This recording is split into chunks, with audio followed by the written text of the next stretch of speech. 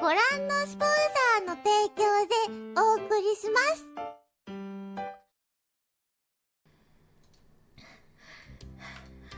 ああーあー一人で歌う曲じゃない。一人で歌う曲じゃないけど君が笑顔になってくれたらそれでいい。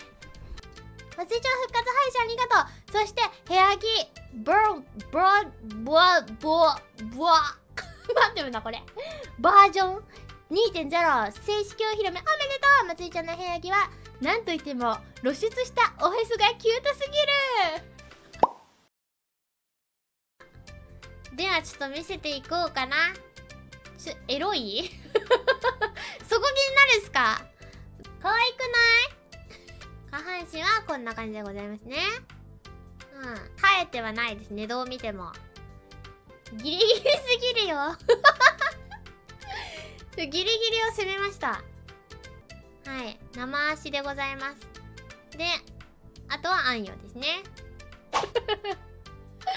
これだけ見るとまつりちゃんのおへそしか見てないような気もするけどもちろんおへそも含めたまつりちゃんの全てが大好きだよ。これからもまつりちゃんの活躍を一まつり師として精一杯応援していくからこれからもよろしくね。生足とへそが好きなあのー、ロリコン。ロリコンなのかわかんない。体型はねロリって言われるんでねロリなのでしょうか。ロリではないんですけどね.ロリです。祭りはロリだった。ロロリが好きなロリ